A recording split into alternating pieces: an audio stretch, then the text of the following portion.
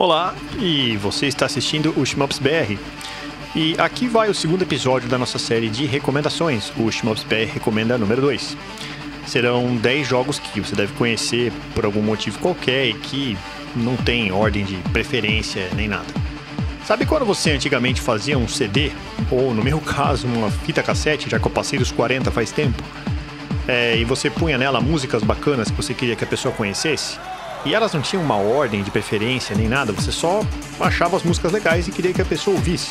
Pois é, esse episódio tem exatamente esse espírito. E assim como eu disse no primeiro episódio, se você concorda, discorda, acha que, tem, que eu devo recomendar algum jogo, uh, falei besteira, quer me xingar, cara, deixa um comentário.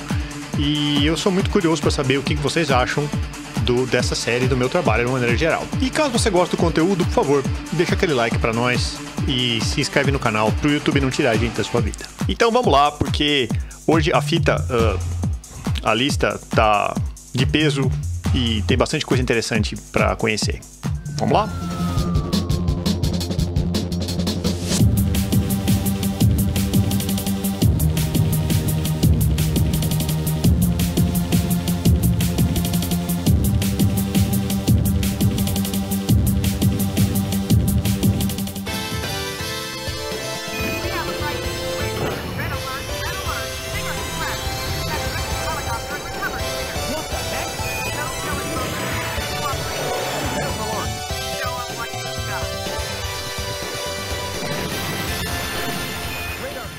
É, Gauntlet é um daqueles muitos jogos que copiaram praticamente tudo de Raiden, que foi um shmup absurdamente popular no fim dos anos 80 e começo dos 90, tendo sido portado aí para praticamente tudo quanto é plataforma.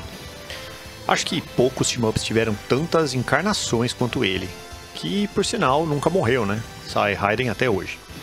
Ou seja, é justo falar que é, Gauntlet não existiria sem Raiden, mas a história vai mais fundo que isso. Raiden foi desenvolvido pela Seibu Kaihatsu, em uma época que a empresa estava muito mal das pernas, aí beirando a falência.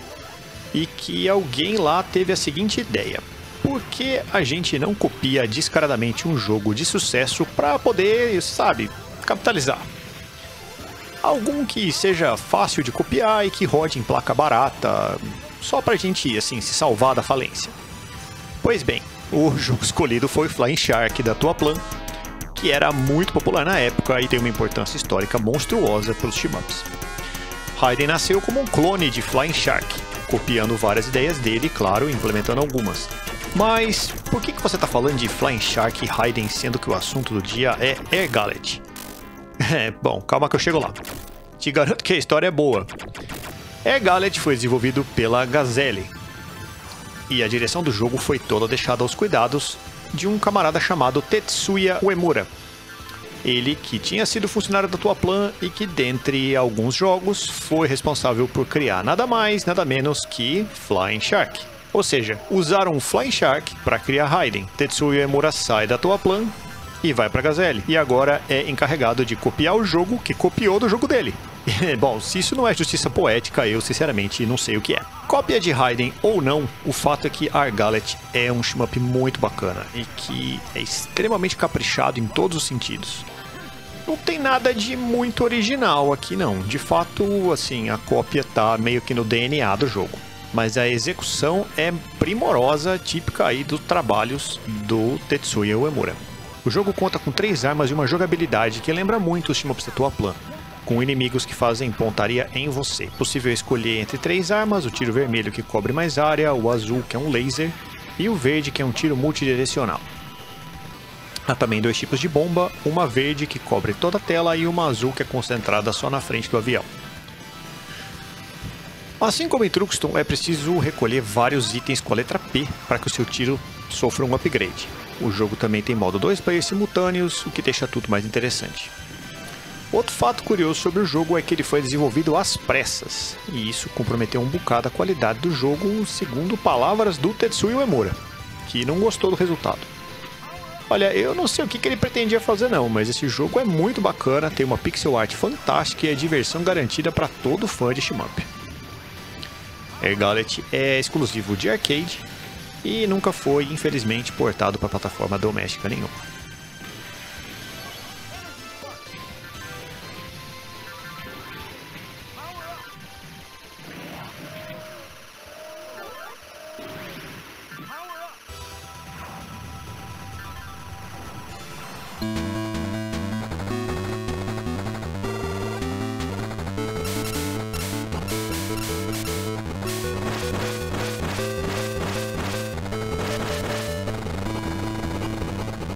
E senta que lá vem outra história interessante. Existiu um portátil da Bandai chamado WonderSwan Color, concorrente do Game Boy, e que ficou restrito só ao mercado japonês. Fato que contribuiu para que muita gente sequer tivesse conhecimento do que, que se tratava o aparelho. Uma das desenvolvedoras que faziam jogos para o WonderSwan era a Kilt, que criou um kit de desenvolvimento chamado WonderWitch, que permitia que os usuários criassem jogos para o WonderSwan. E para promover o kit, eles fizeram um concurso onde os melhores jogos seriam publicados pela empresa oficialmente para o WonderSwan. Judgment Silver Sword ganhou o concurso e foi publicado sob o título de com o subtítulo de Rebirth Edition, já que o original era um freeware. O tal do MK, designer do jogo, diz que se inspirou em Radiant Silvergun para criar o jogo. Como a Bandai descontinuou o WonderSwan, o jogo saiu com o console já morto em uma tiragem física de apenas 500 cópias, o que fez com que esse título se tornasse astronomicamente caro, raro e disputado por colecionadores e pessoas que têm mais dinheiro que juízo, que existem até os dias atuais. Houve uma reedição depois, mas o preço de mercado no mercado de colecionadores nunca caiu. Aliás, preço em mercado de colecionador é uma coisa que não cai. Assim como o Radiante Silvergun, você já começa com todas as armas, sendo elas um tiro aberto, que cobre uma área maior, um tiro concentrado e um escudo que pode ser ativado para bloquear tiros de inimigos.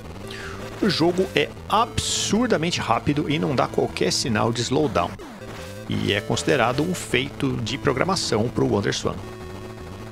O ritmo do jogo te mantém preso, com os olhos na tela o tempo todo tentando matar as ondas de inimigo no menor tempo possível. O sistema é simples e intuitivo e ajuda muito a qualquer um entender o que precisa ser feito em poucas partidas. Aqui não tem muito segredo não, é uma jornada bem gratificante que depende apenas da habilidade e dos reflexos do jogador.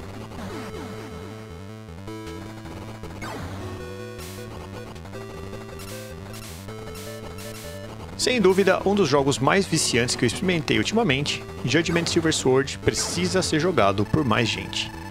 É impressionante como você simplesmente quer voltar para jogar mais. E é, o melhor é que ele foi relançado para Windows na Steam com o nome de Judgment Silver Sword Resurrection. Ou seja, dá até para tirar o emulador do meio da jogada se você quiser.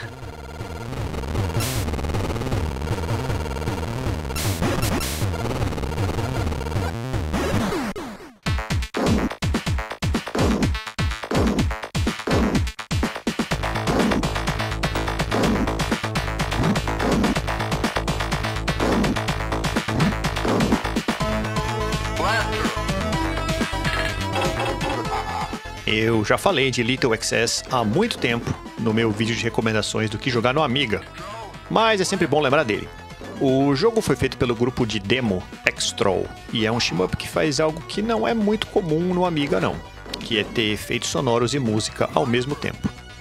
Além de ser um shmup muito bom para plataforma, o que é algo que não se vê todo dia.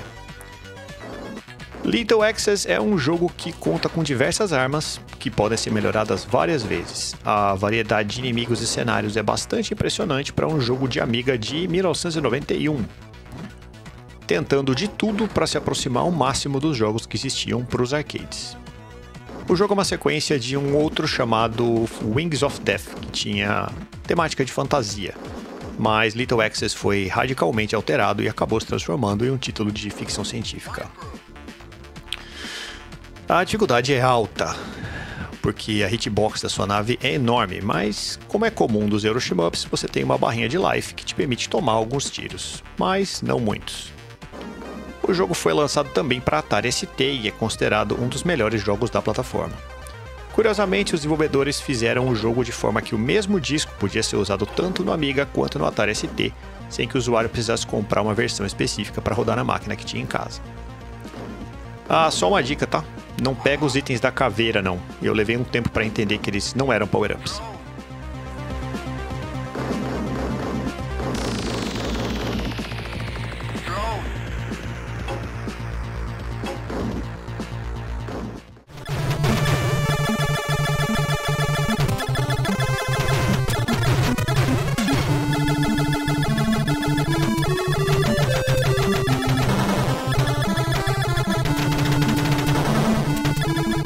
Horizon é um daqueles jogos que saíram muito tarde na vida do console e que pouca gente jogou. Convenhamos que se em 91 você fosse fã da Nintendo, tudo que você queria era estar jogando um Super Famicom, certo? E se você tivesse um NES em casa e um Super Famicom também, o NES ia provavelmente estar pegando pó dentro de um armário ou sendo usado de caixa de areia pelo seu gato. Acontece que, assim como Crisis Force, que foi citado no vídeo anterior, Over Horizon é um jogo muito bom e que você deve dar uma chance. A dificuldade dele não é alta, mas tudo no jogo é extremamente bem feito e ele tem várias características únicas. Por exemplo, a sua nave atira para frente e para trás, dependendo do botão pressionado. Caso o jogador aperte os dois botões ao mesmo tempo, o Option se move para perto ou para longe da nave, mudando a área coberta pelos seus tiros. O jogo ainda tem um modo de edição, onde o jogador pode alterar as características da nave, dando um certo grau de liberdade, que eu não me lembro de ter visto em muitos jogos para o NES não. Outro jogo da Hot B que também usa esse esquema de atirar para frente e para trás é Steel Empire, que saiu para Mega Drive algum tempo depois. E com alguma boa vontade é possível até considerar que Steel Empire seja uma sequência espiritual de Over Horizon. Apesar que eu não gosto desse termo sequência espiritual, nem sei porque que eu uso isso.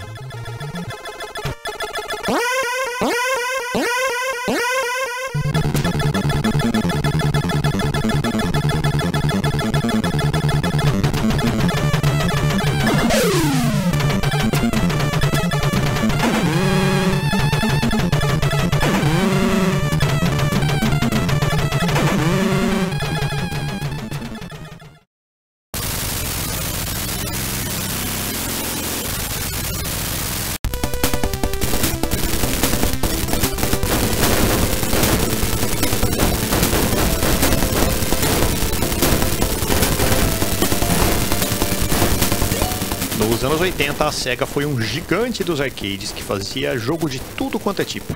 Mas é engraçado notar como que ela acabou não fazendo muitos shmups, né? Scramble Spirits é um deles, e o jogo tem seus méritos, apesar de ser meio desconhecido do público em geral. Originalmente feito para arcades, o jogo ganhou uma versão para Master System e para diversos micros europeus. Inspirado no sistema de drones de Tokyo Scramble Formation, o avião atira tiros distintos para dois planos do jogo, ar e terra. Ou seja, os tiros de ar só acertam inimigos voadores e as bombas só acertam inimigos no chão. O jogador pode capturar aviões auxiliares que voam em formação. E com o segundo botão de disparo é possível trocar a formação deles e concentrar mais poder de fogo no ar ou na terra. Com o terceiro botão de disparo é possível mandar os aviões auxiliares em um ataque kamikaze, funcionando mais ou menos como uma bomba como o jogo ainda tem modo de dois jogadores simultâneos, o que é sempre bem-vindo. A versão de arcade é extremamente difícil, mas é muito simpático e bem acabado. A de Master System sofreu severas adaptações e ficou meio diferente, mas ainda dá pro gasto, já que não tem tanto shmup legal assim para Master System.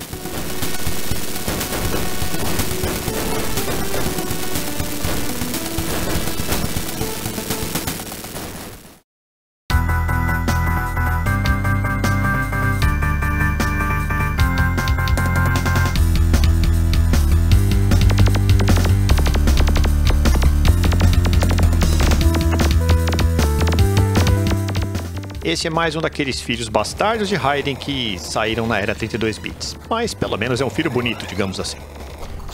Shenryu foi lançado para arcade e posteriormente para PlayStation e Sega Saturn, e como saiu em uma época que os shmups não estavam assim muito populares, já que o mercado estava focado apenas em jogos 3D, ele passou despercebido.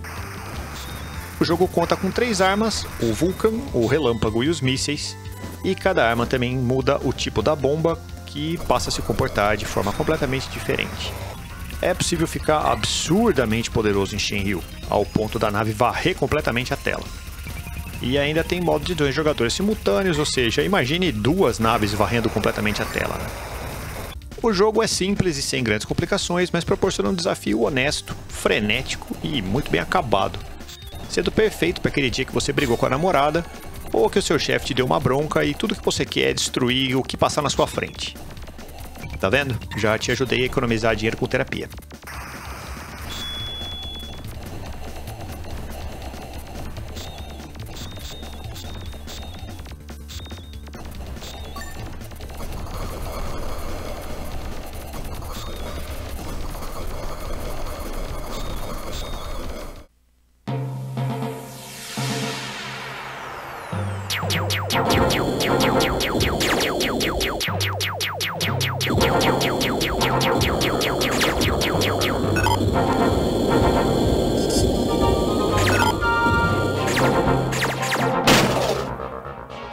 Mega CD tem alguns team-ups bem interessantes, mas eu acredito que Soulstar seja, de longe, o mais tecnicamente impressionante de todos. O jogo foi lançado na Europa alguns meses antes do PlayStation sair no Japão no ano de 94, e os programadores da Core Design fizeram de tudo para tirar leite de pedra do Mega CD. Sem usar nenhum recurso 3D, o jogo entrega uma experiência bastante imersiva e muito bem acabada de um combate espacial em terceira pessoa. A trilha sonora é espetacular e casa perfeitamente com o jogo, e merece assim um destaque à parte. Soulstar ainda fica diferente conforme a fase que você joga. Em algumas, o jogo se comporta como um rail shmup, em outras ele permite que você se desloque pela tela à vontade, em outras você vai andar pela tela com o Mac no chão. Tem uma diversidade muito boa de estágios e armas, e eu acredito que dificilmente você vai encontrar um jogo mais bonito que esse no Mega Drive.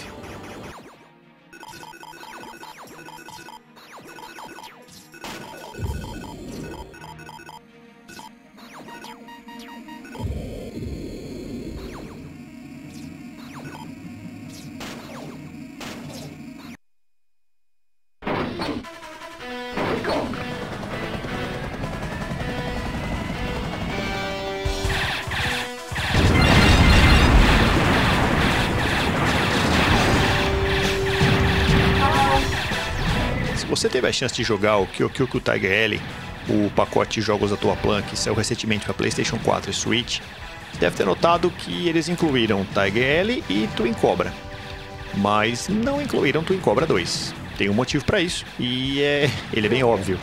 Apesar do nome do jogo, Twin Cobra não é da tua Plan. Ele foi desenvolvido pela Psyche, sem ter um pingo de tua Plan nele, ou seja, não teria por que ser incluído na coletânea.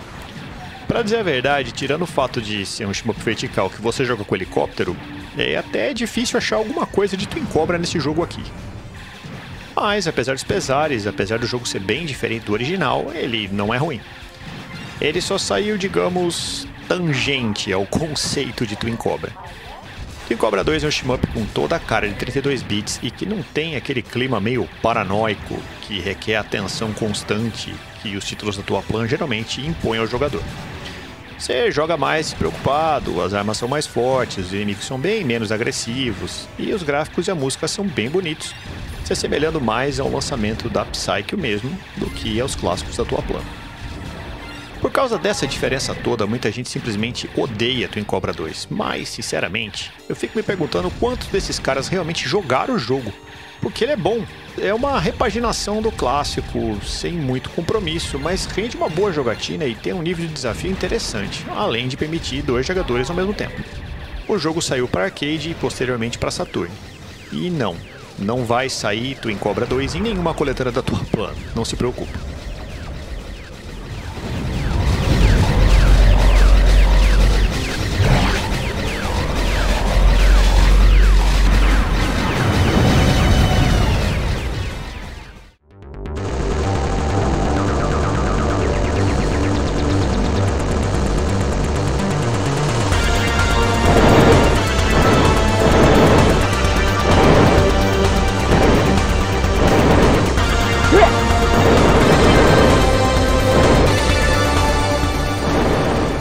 Próximo jogo que vamos falar foi incluído aqui porque eu nunca entendi muito bem o que eu estava jogando. Tutenkaku saiu bem no começo da vida do PlayStation, sendo exclusivo da plataforma.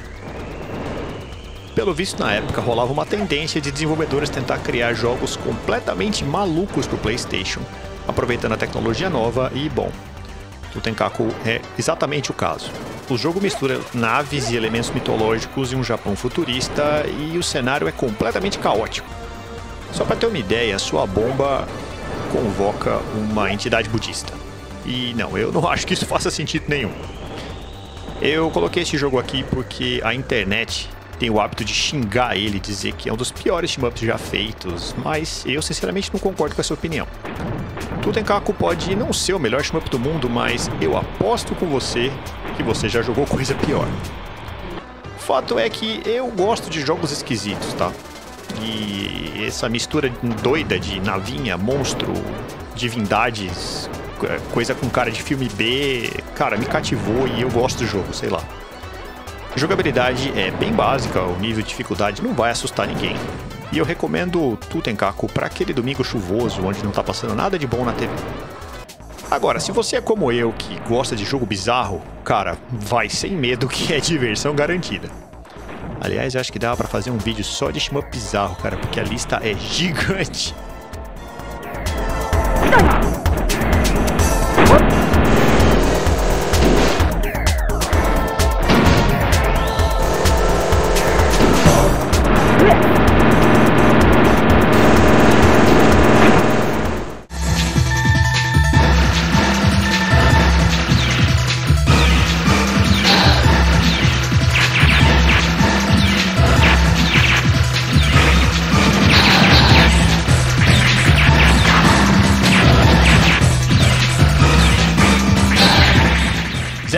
Operation Ragnarok foi desenvolvido pela NMK e lançado em 94.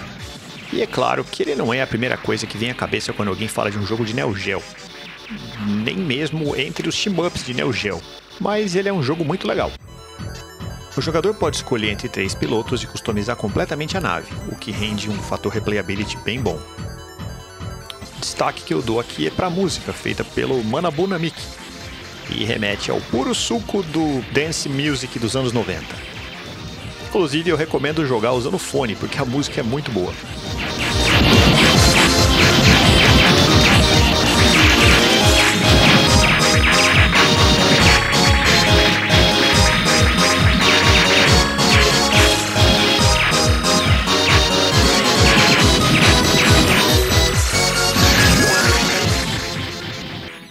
A identidade visual do jogo também merece destaque pelo uso de morphing, que era novidade na época. O tempo todo você vai ver inimigos se formando a partir de cubos que são espalhados pela fase, se transformando em navinhas ou outras coisas.